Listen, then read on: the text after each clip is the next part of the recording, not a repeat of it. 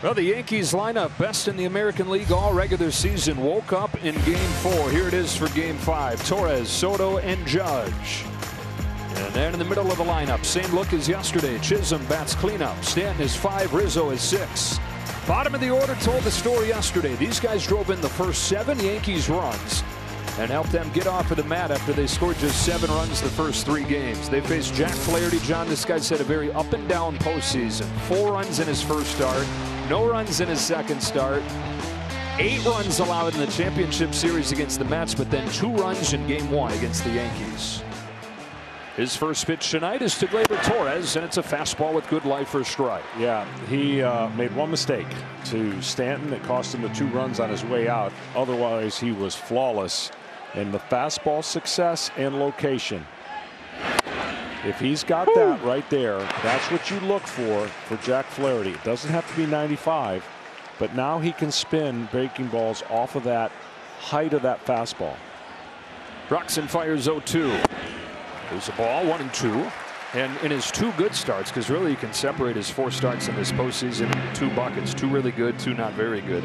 The two really good ones, opponents 0 for 17 against that fastball. Yeah, that's again, they're looking for spin, so when he throws it for strikes. Off the end of the bat here with a slider. Torres the first out.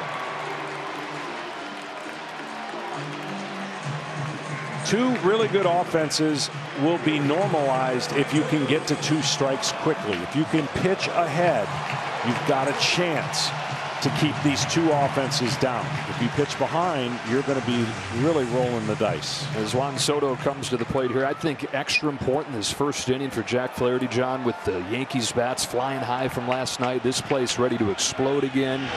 Talk about Cole setting the tone. Flaherty's got to set one of his own. He does, and boy, did Cole do it.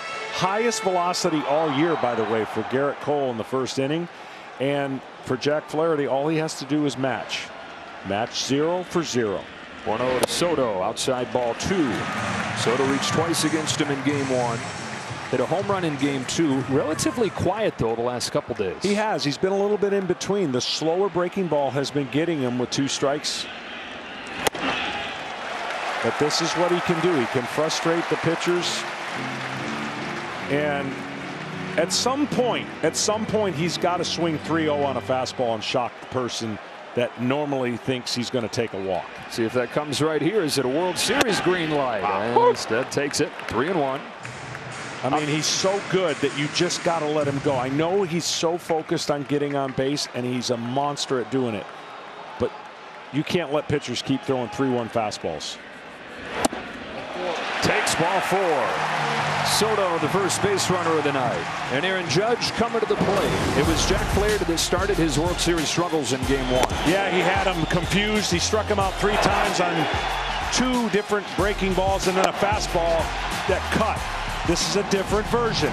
First pitch, I would imagine, will tell you a lot about Aaron Judge and tonight.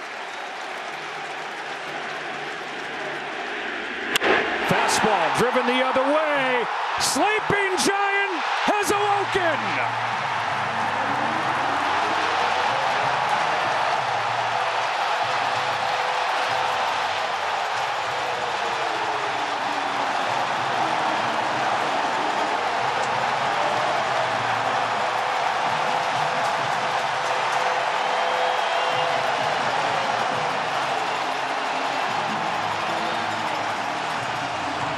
So, Joe, what do you think it told him? I think he's back. He's on time. He took a lot of great pitches yesterday, and Jack Flaherty tried to surprise him with a fastball, but Aaron Judge was ready.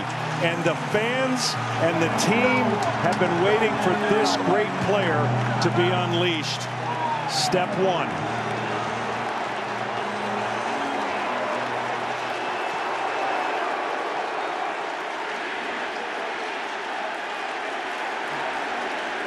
Now Jazz Chisholm. So it's the Yankees with the first inning home run here in game five, and it comes from Aaron Judge. Yesterday, while the rest of the lineup was exploding around him, he little by little was showing signs that he was coming out of it. And connects right there for a no doubt blast the other way. 58 during the regular season. Two over the first two rounds. First one of the World Series right here. Two and one on Chisholm. We said all series when you're pulling off the ball and you're mechanically lost, you're not going to hit the ball. You're going to swing and miss. Now it's Chisholm. High drive,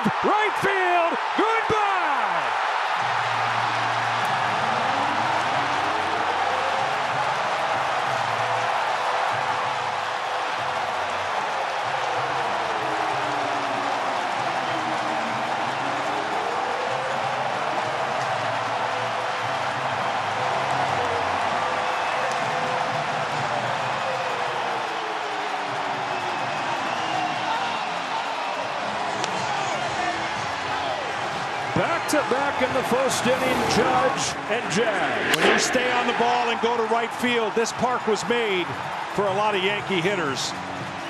And he did it perfectly. As a hitter, you have to feel it, you have to see it, and when they happen, you can get out of a slump quickly.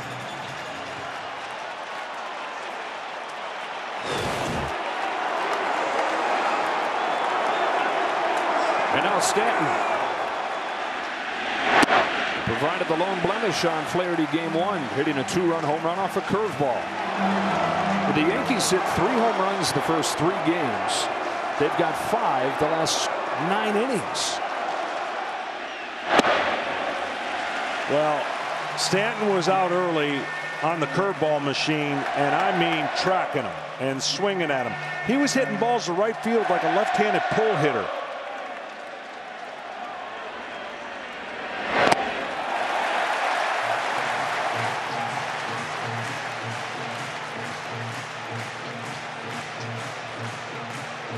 Jack Flaherty, after giving up just two runs over five and a third in game one, has given up three here in the first.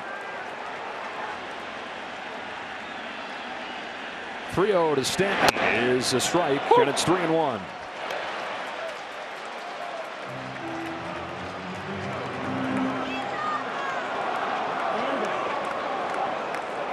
Yeah, much of this play still standing.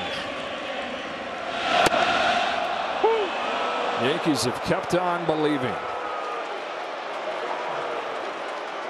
And this fan base, this crowd has helped lift them up.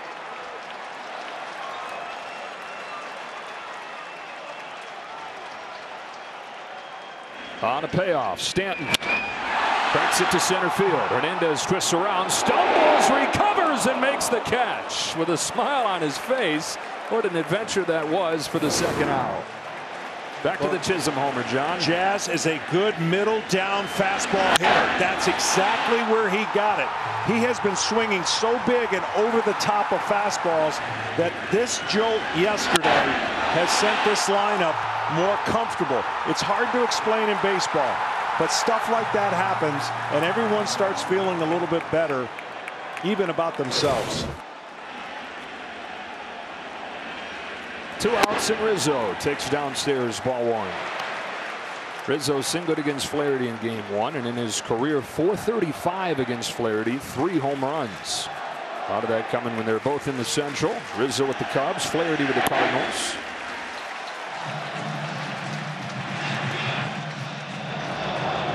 Dave Roberts already getting that bullpen going. Going to be one of the storylines in this game to watch how soon did Dave Roberts act with a fully loaded bullpen. Not wanting this series to go back to Los Angeles. I can understand the first pitch fastball to Judge. You know why? Because they've been spinning and spinning and he took some good looks at it. But Judge was absolutely ready for it. He didn't miss it. And you said it. Aaron Boone has said he thinks it's a timing thing. If he gets that foot down on time, the ball's going to fly. And when that begins to happen, mentally, he feels like there's nobody in the world that can get him. That's right. I mean, things when they start happening slower for great players, that's when they don't even they don't even flinch. And we hadn't seen him go to right field at all. So you know he was working on it.